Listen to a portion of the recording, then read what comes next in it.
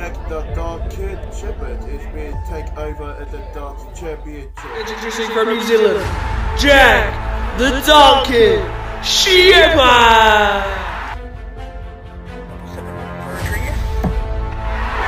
Bang! He's in!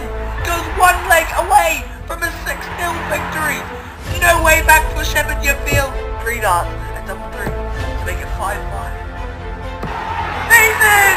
The comeback of a lifetime as Jack Sheppard equalises with Rodriguez and puts us to a deciding leg.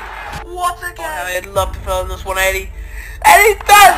Leads 50 when he comes back. Rodriguez cannot finish. I do not believe by Julian that Sheppard wins his first major title. What a game! No matter who you are or what you have done, you cannot please everyone. People always put you down. Say you are not good enough. But you don't need to say anything to those people. All you need to do is show them on the board that you are good enough. And maybe then, just then, might you get some respect.